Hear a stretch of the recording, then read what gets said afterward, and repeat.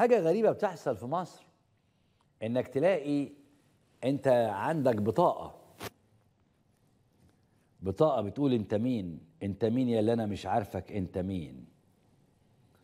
ده الأستاذ حفني أحمد حسن في أغنيتي المشهورة أنت مين؟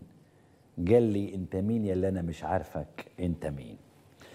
وحفني أحمد حسن ده في الطرب الشعبي حاجة جامدة جدا. جدا صحيح ألحان واحدة لكن النص اللي بيقوله كان رائع وصوته هو كمان كان حلو. قلق كبير جدا انتشر على مواقع التواصل الاجتماعي بعد اكتشاف محامين. مش بنتكلم على ناس عادية محامين وحقوقيين إن بطاقاتهم تم تزويرها بأسمائهم وبياناتهم وراح لناس تانية. يعني يبقى اسمك عبد السند يمامة ساكن في شارع كذا مواليد كذا الحاجات دي تلاقي بطاقة تانية بواحد تاني اسمه عبد السند يمامة. عبد السند يمامة ده عشان ما تهزرش فيه يعني ده زعيم حزب الوفد مكان مصطفى النحاس دلوقتي.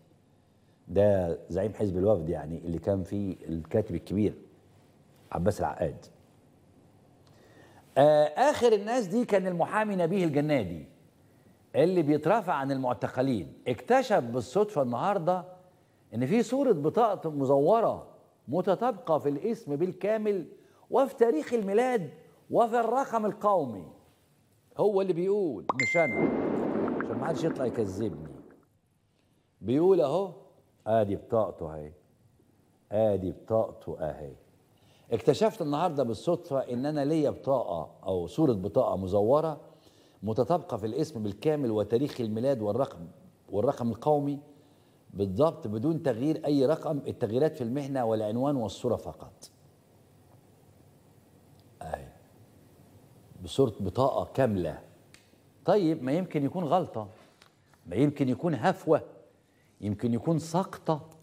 إنما بالصدفة البحتة المحامية الأستاذة ماهينور المصري تكتشف إن ليها نفس الحالة وده اللي كشف عنه المحامي خالد علي. وبيقول للمرة الثانية خلال شهر تقريبا نكتشف تزوير بطاقه بطاقة محامين حقوقيين. أوائل الشهر الماضي تقريبا كان تزوير بطاقة الزميلة ماهينور المصري. النهارده اكتشفنا تزوير بطاقة نبيه الجنادي ومحدش عارف مين تاني بطاقته تم تزويرها. طيب مين بقى اللي بيزور البطايق دي؟ واشمعنى بيستهدف المحامين دول؟ وهل في النهاية يعني هنلاقي ناس تانية متزورة بطاقهم وإحنا ما نعرفش أو هم ما يعرفوش؟ والسؤال فين الداخلية من التزوير ده؟ أسئلة كتيرة جدا طرحها أو طرحتها صفحة الموقف المصري. وقالت بالنص كده تزوير بطاقات الرقم القومي لمحامين حقوقيين إيه اللي بيحصل؟ ده بيخلينا نسأل ليه اتكررت المسألة؟ مع أكتر من محامي في محافظات مختلفة. وإيه اللي بيعمله مزور البطاقة الشخصية؟ هل فقط بيستخدمها في شركات الاتصالات والبنوك؟ ومين اللي ساعدهم في ده؟ ولو البطاقات المزورة كلها طالعة من السجل بشكل رسمي زي ما الجنادي ما اكتشف ليه الحالة مكررة؟ السؤال الأهم ليه الأجهزة الأمنية اللي ما بتفوتش كلمة بتحصل في المجال العام إلا لما بنلاقيها بتتدخل؟ حتى ولو تدخلها بيكون في تعدي على الناس ساكتة. ساكتة ليه الداخلية؟ طب ليه ما تمش التحقيق لحد دلوقتي وكشف التفاصيل؟ خاصة وإنه أحد الزملاء ماهينور قدمت بلاغ للنيابة العامة من نص أبريل. الحقيقة ما فيش لسه معلومة ولا إجابة على الأسئلة دي ولسه ما نعرفش إيه اللي بيحصل بالبطاقات الشخصية للمحامين. وهل في شخصيات تانية تعرضت لنفس الأمر ولا لأ؟ وبالتالي المفروض الأجهزة الأمنية تجاوبنا على الأسئلة دي وبشكل عام الموضوع كله ونتائجه المترتبة عليه هي مسؤولية الأجهزة الأمنية والقضائية وحدها. وعرضت صورة البطاقتين اللي تم تزويرهم بصور مختلفة. حتى الناس على السوشيال حقيقة كل تعليقاتهم فيها قلق وخوف من فكرة سهولة اختراق وسرقة بياناتهم. انت ممكن تصحى الصبح تلاقي نفسك متهم في جريمة جريمة قتل أو سرقة لأنه تم تزوير بطاقتك وتحط عليها صورة تانية. فالناس قالت هذا لا يحدث في موزمبيق ولا في ناميبيا ولا حتى فنزويلا.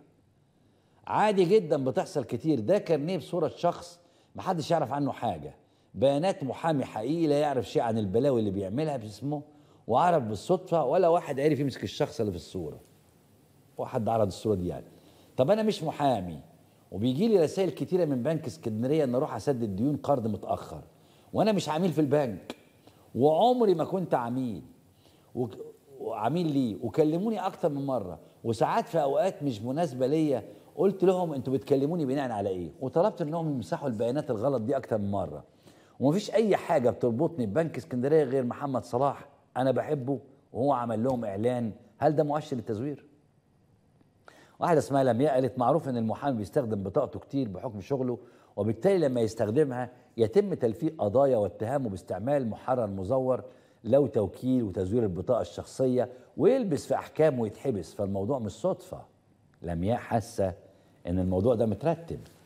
بمناسبة البيانات كانت في فضيحة من كام يوم على تسريب الحكومة بيانات طلاب لعدة سنوات وده اللي وثقته منظمة هيومن رايتس ووتش وقالت عشرات الآلاف من الطلاب معرضون لخطر الأذى. عشرات الآلاف. بيانات شخصية حساسة للأطفال.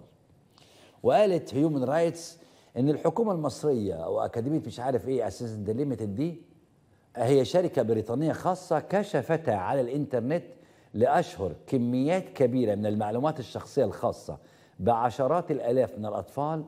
ينتهك ذلك خص- خصوصية الأطفال ويعرضهم للخطر للاذى الجسيم ويبدو أنه ينتهك قوانين حماية البيانات في كل من مصر وبريطانيا. شملت البيانات الحساسة أكثر من 75 ألف طفل.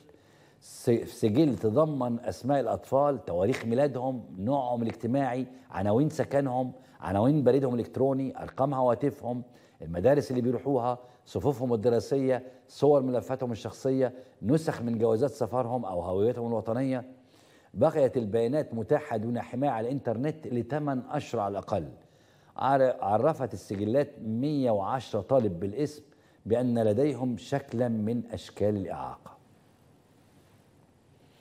السؤال بقى المهم هل عقل الدولة بيخرف؟ مش السيسي قال عاملين عقل للدولة في العاصمة الإدارية الجديدة؟ هل العقل ده بيخرف؟ بيحفظ البيانات بس اللي عايزها السيسي فقط لا غير؟ ولا الدولة بقت بزراميط؟ هي بزراميط اللي بعده